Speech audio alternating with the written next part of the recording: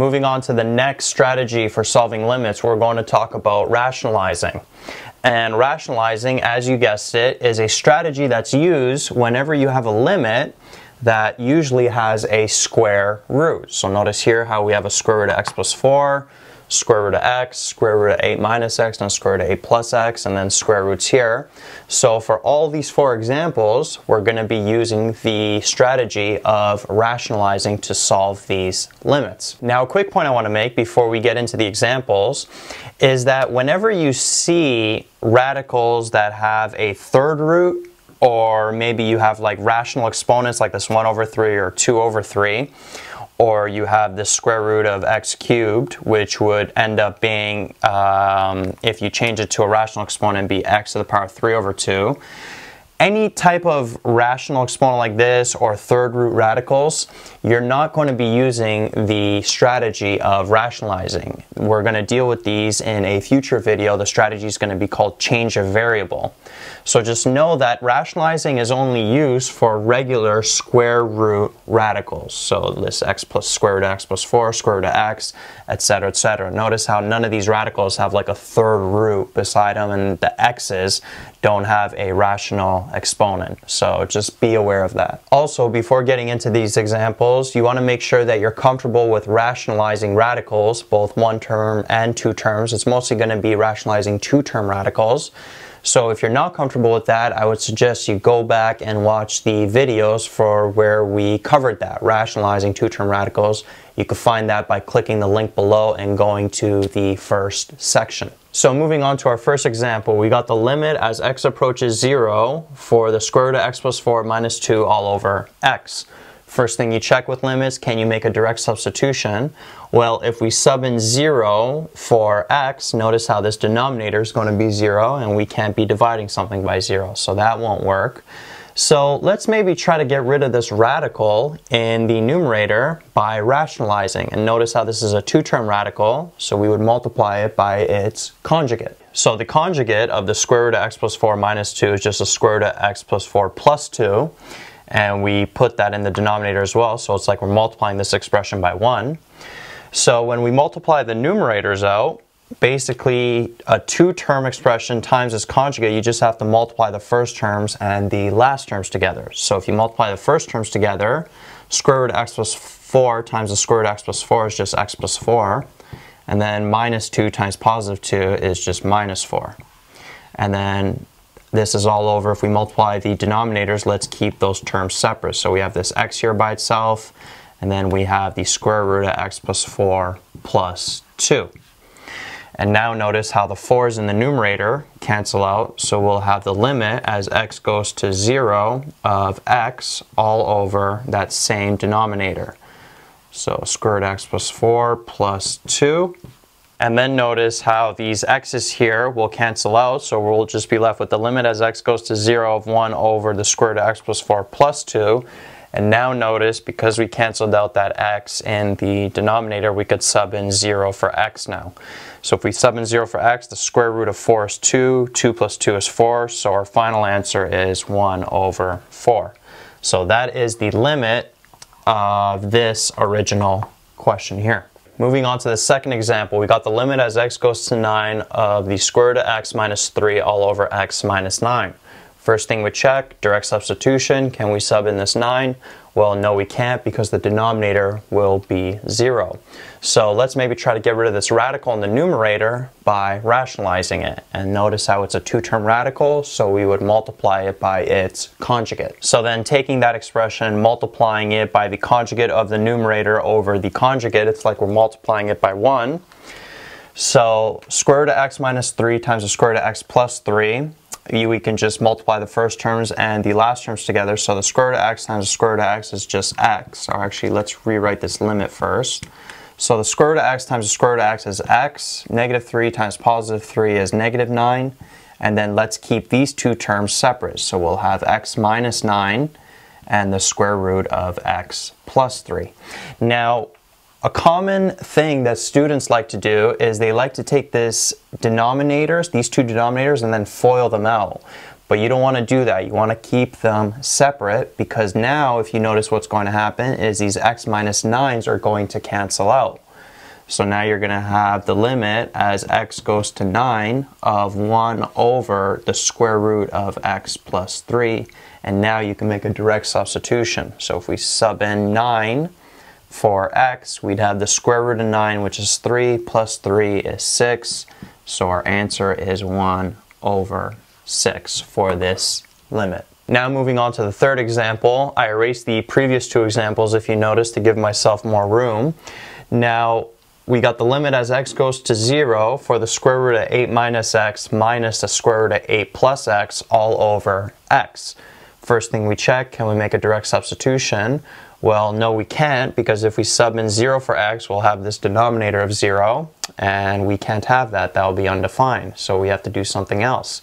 So let's try to rationalize the numerator and notice how it's a two-term expression, so we're going to multiply it by its conjugate. And the conjugate of that two-term expression in the numerator is going to be the square root of 8 minus x plus the square root of 8 plus x. So notice the only thing that's changed is that sign in the middle. We change it from a negative to a positive. The signs under the radicals stay the same as we've done in previous videos. So be careful with that. You're not changing the signs under the radicals of those separate expressions. You're only changing the sign in the middle of those two expressions, which is this negative. We change it to a positive. So multiplying it by the conjugate over the conjugate, it's like we're multiplying this expression by 1. And now, when we multiply the numerators, notice because we're multiplying a two-term expression by its conjugate, we just have to multiply those first and last terms. So the square root of 8 minus x times the square root of 8 minus x is just 8 minus x. And then the square root of 8 plus x times the square root of 8 plus x is just 8 plus x. And then negative times positive gives us a negative. The two terms in the denominators, let's keep those separate. And now notice how we can simplify that numerator. So we can distribute this negative inside the bracket. So we'd have 8 minus 8. The 8's cancel out. And then we'd have negative x minus x, which would give us negative 2x. And then our denominator still stays the same. Let's keep those terms separate. So we got the square root of 8 minus x plus the square root of 8 plus x. And now notice how the x's will cancel out, so we'll be left with the limit as x goes to 0 of negative 2 over the square root of 8 minus x plus the square root of 8 plus x. And now we can comfortably substitute that 0 for x. So this would go to 0 and this would go to 0, so we'd have the square root of 8 plus the square root of 8. Those are like terms, so we would end up with negative 2 over 2 square root of 8. Because the square root of 8, there's like this 1 in front. So 1 square root of 8 plus 1 square root of 8 gives us 2 square root of 8. And notice how these 2's cancel out. So we're just left with negative 1 over the square root of 8.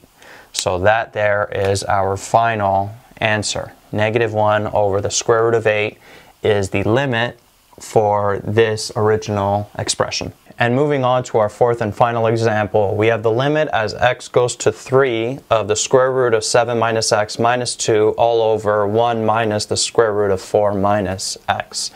Now, this particular question is basically as tough of a question for rationalizing limits as you'll get.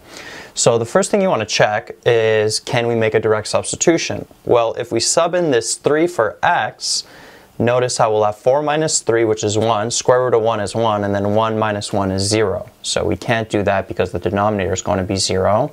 But what do we do now? Because notice how we have a radical in both the numerator and the denominator, so which one do we rationalize? Well, let's start off by trying to rationalize the denominator. Let's try to get rid of the square root.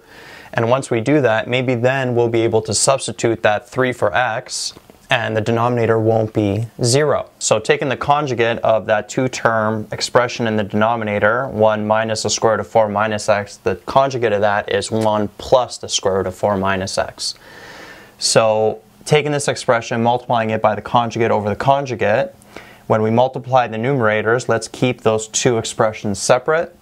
And then when we multiply the this two-term expression by its conjugate, 1 times 1 is 1, and then the square root or the negative square root of 4 minus x times the positive square root of 4 minus x would just give us negative bracket 4 minus x. So then keeping that numerator the same and then simplifying the denominator, the denominator would simplify into x minus 3 when we distribute that negative inside that bracket.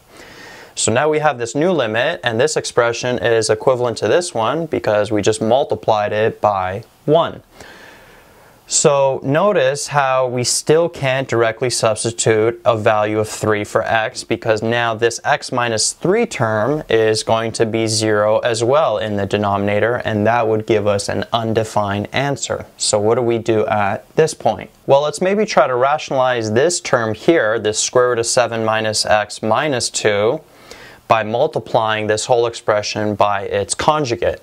So we'd have the square root of 7 minus x plus 2 over the square root of 7 minus x plus 2. Now the reason why we're multiplying it by the conjugate of this and not of this, notice how the conjugate of this is 1 minus the square root of 4 minus x, and then we would just end up where we started. So we don't want that. We wanted to get rid of that term, so there's no point of multiplying it again by that term and bringing it back. So let's try something different. So we're going to rationalize this term here, this bracket in the numerator. So that's why I mul multiplied it by its conjugate over its conjugate. So now when we multiply the numerators, we'll have three expressions multiplied together. But these two expressions, because they are conjugates of each other, let's just multiply those together by themselves. So because they're conjugates of each other, we would just multiply the first term and the last term together, so we'd end up with this bracket here. The square root of 7 minus x times the square root of 7 minus x is just 7 minus x. Negative 2 times positive 2 is just negative 4. Then this 1 plus square root of 4 minus x stays as is. And then in the denominator, we would keep these two terms separate, this x minus 3 and this square root of 7 minus x plus 2. And then keeping everything the same except for this bracket, if we simplify it, basically we would end up with negative x plus 3. And then these other three brackets, they stay the same. So what are we trying to do? We're trying to get rid of this x minus 3 term because that's making the denominator 0 at this point because if we sub in 3 for x, this bracket will be 0. So notice how we're pretty close to canceling out these terms, but this term here is not the same. This is negative x plus 3, this one is positive x minus 3. But if we take a negative out of this bracket, so let's say we factor out a negative, then this is going to turn into a positive x, and then this positive sign is going to turn into a negative sign. So we just took a negative out of that bracket, and now notice how the x minus 3's cancel out and we're left with negative 1, there's like a negative 1 in front, times 1 plus the square root of 4 minus x all over the square root of 7 minus x plus 2. And now we can sub in that 3 for x and we won't have a denominator of 0. So when we sub in that 3 for x, we'd have 4 minus 3, which is 1. Square root of 1 is 1. 1 plus 1 is 2 times that negative in front. So we'd have negative 2 in the numerator and then subbing in 3 into this bracket here, 7 minus 3 is 4, square root of 4 is 2, 2 plus 2 is 4. So we end up with negative 2 over 4, and that simplifies to negative 1 over 2. So that there is our final answer for this limit. So notice how we had to rationalize both the denominator and the numerator. You could have done it all at once, but I just wanted to show it in a series of steps so you understand it a little better. But you could have easily, at the beginning, also put this bracket up here and then just multiplied everything and maybe then you would have got the uh, answer faster. But again, I just wanted to show it to you in steps. So this question is really confusing and it's as hard of a question that you'll get for rationalizing limits. Yo, what's up guys? Thanks for checking out my channel. Hopefully you got some value from the video you just watched. If you did get some value, big favor to ask you, please like this video and subscribe to the channel. Any questions, any recommendations on things you'd like to see, please leave it in the comments section. Also check out the description box below for links to material and content related to the video you just watched. Peace out.